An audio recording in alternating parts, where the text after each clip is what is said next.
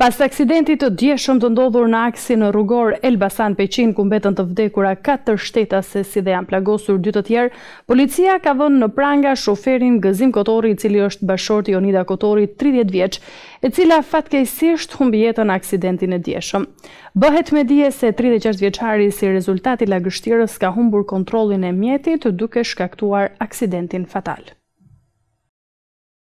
Një ditë pas aksidentit tragjik në Elbasan me katër të vdekur dhe dy të plagosur, policia ka vënë në pranga shoferin Gëzim Kotorri, i cili duke drejtuar mjetin tip Seat ka dalë nga rruga duke përfunduar në korsinë tjetër, ndërsa në aksident u përfshinë edhe dy makina të tjera. Përplasja e mjeteve rezultoi fatale për shtetaset Jonida Kotorri tridhjetë vjeç nga Tirana, Fatime Hoxha gjashtëdhjetë e tetë vjeçe nga Cërriku, Lume Hoxha pesëdhjetë e pesë vjeçe nga Cërriku dhe Fatusha Godhi gjashtëdhjetë vjeçe nga Gramshi. Dyshohet se shtetasi Gëzim Kotorri tridhjetë e gjashtë vjeç si rezultat i lagështirës në rrugë ka humbur kontrollin mbi mjetin dhe për pasojë ka dalë në korsinë tjetër të lëvizjes ku është goditur nga mjeti tip Skoda me drejtues shtetasin Oltion Shehu tridhjetë e nëntë vjeç banues në Tiranë dhe më pas ky mjet është goditur nga mjeti tip Ford me drejtues shtetasin me iniciale ER tridhjetë e dy vjeç banues në Fier dhe për pasojë kanë humbur jetën katër pasagjerët që ndodheshin në mjetin me shofer